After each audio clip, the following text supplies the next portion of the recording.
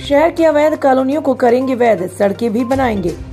Bahujan Samaj party के महापौर पद के प्रत्याशी पूर्व मंत्री सईद अहमद ने बुधवार को शहर के वार्ड क्रमांक 26 राजेंद्र नगर से जनसंपर्क की शुरुआत की। इस दौरान उन्होंने वार्ड क्रमांक 28 पुरानी कचहरी वार्ड क्रमांक 11 सिद्धार्थ नगर वार्ड क्रमांक 12 बिरला कॉलोनी, वार्ड क्रमांक 13 टपरिया बस्ती बदखर तक जनसंपर्क किया।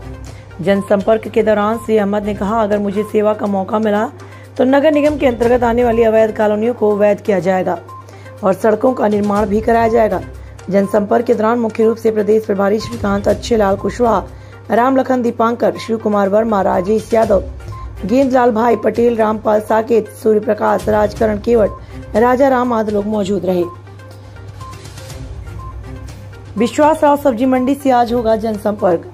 पूर्व मंत्री सईद अहमद का गुरुवार को सुबह सात बजे विश्वास राव सब्ज़ी मंडी से जनसंपर्क शुरू होगा। तत्पश्चात सुबह आठ बजे वार्ड क्रमांक तेरह। यप्पा नगर सुबह नौ बजे वार्ड क्रमांक अठारह, सत्रह, पंद्रह, नई बस्ती और शाम छह से रात्रि नौ बजे तक वार्ड क्रमांक चौदह, भल्ला डेयरी फार्म में जनसंपर्क किया जाएगा। गौशमा से ब्यूरो रिपोर्ट।